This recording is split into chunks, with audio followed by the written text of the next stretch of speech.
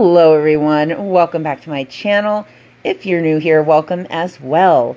In today's video, I'm going to be making some homemade hand sanitizer.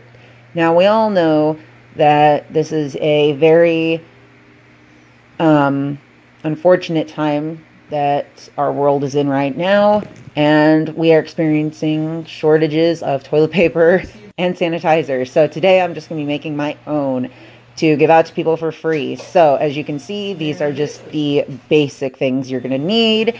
And let's just get right down to it. So I'm going to put my white gloves on because I got to keep this as sterile and clean as possible because I'm going to be handing these out to people.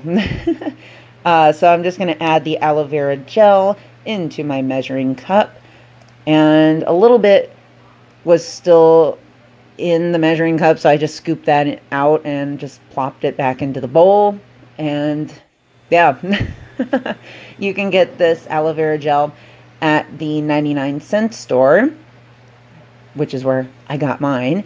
Um, and you can pretty much buy aloe vera gel anywhere, but you're going to get the best price at the 99 cent store. So then I just decided to just add in the rubbing alcohol. Just a teaspoon is all you need because uh, it goes a long way.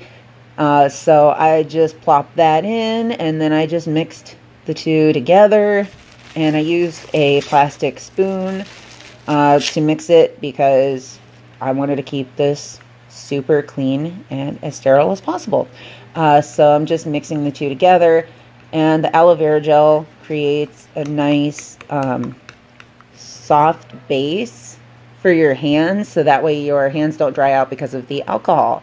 So I didn't add any essential oils because I thought the aloe vera gel had a really, really nice fresh scent to it. So yeah, so two spoonfuls is all I decided to put in the cups because this is going to go a very long way and last a long time.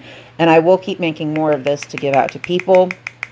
Um, so yeah, I just decided to put two spoonfuls in and I really love these little mini cups because even on the packaging it says keeps the contents fresh or something like that. So uh, this, I don't know, I thought it was really cute. You can pop it in your pocket or your purse and there you go. So this is a very, very easy little DIY. I hope you guys enjoyed and hopefully you guys are going to try this out because it can't get any easier. And here's just a quick demo of me using the sanitizer. Uh, so I know that some hand sanitizers are clear, but I don't know, this didn't stain my hands at all. So thank you guys so much for watching. Hopefully you guys enjoyed and you'll try this out. And I'll see you guys in the next one. Take care. Bye.